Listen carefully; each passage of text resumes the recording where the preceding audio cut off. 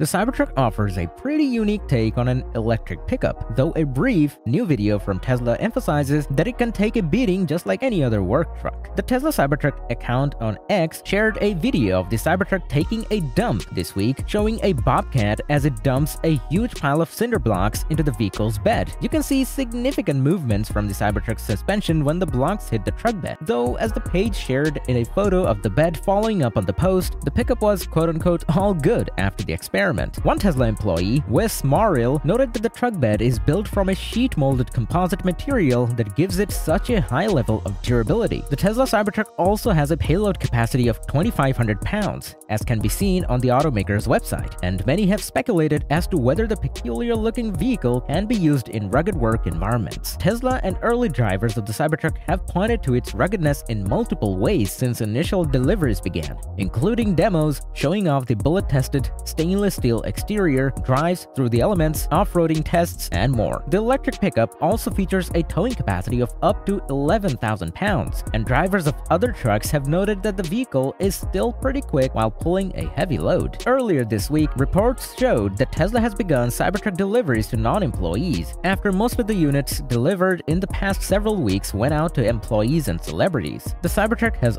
also been leaving the Gigafactory Texas outbound lot about as quickly as they arrived as many received their units of the Foundation Series launch edition of the truck.